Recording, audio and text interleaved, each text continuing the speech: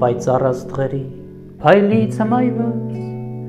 փոքր ժամանակ ինձ տարան ջութակի, բայց այդ տարիքում մի քիչ հոգեբանությունս այլ էր, օգնում էի պարապել եւ այլն եւ այլն, ամեն ինչ այցի որ դուրս գամ։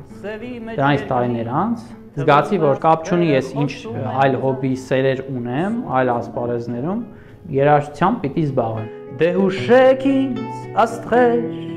որտեղից եք գալիս Այսպես ստացվեց, որ սովորելուն զուգահեռ հնարավորություն ընձեռվեց նաև փոքր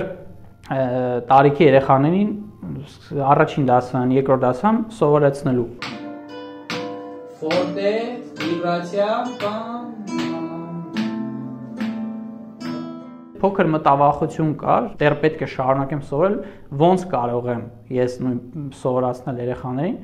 Առաջի երկրորդ դասից հետո հասկացա, որ չէ, Սա ոչ թե ուղղակի ինձ համար աշխատանք է, այլ սիրած զբաղմունք նաև։ Համոզվեցի, որ պարտադիր չէ դու հասնես ինչ որ մի մակարդակի,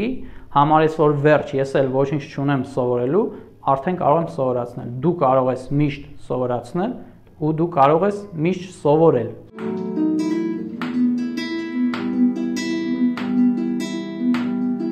գիտարը նվագելը ինձ համար ոչ թե դարձավ ուղակի տիրապետել գործիքին ինչ որ լրացուցիչ ինչ որ մի բանի տիրապետել, վայ նվագե գիտար, այլ կյանքի ընկեր։ Մի քիչ փիլիսոփայորեն ասած, բայց ես դրանում համոզվել եմ։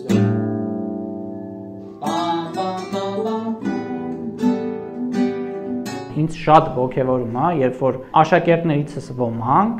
տեսնում ես, որ իրենք իրենց համեմատում են իրենց հետ նախկինում չեն ասում YouTube-ով բան եմ տեսել, ես լավ է։ Ինքը նա իմա հետ, ասում եմ մի ամիս առաջ, բայց ես այս բանը սենց էի նվագում, լավ չէր, տեսեք ստացվում է։ Դասավանդման մեջ շատ կարևոր է տկնաջան աշխատանքով ջանք չխնայել երեխեքին սովորացնելու, բայց միևնույն ժամանակ չդադարել ինքնակատարելագործվել։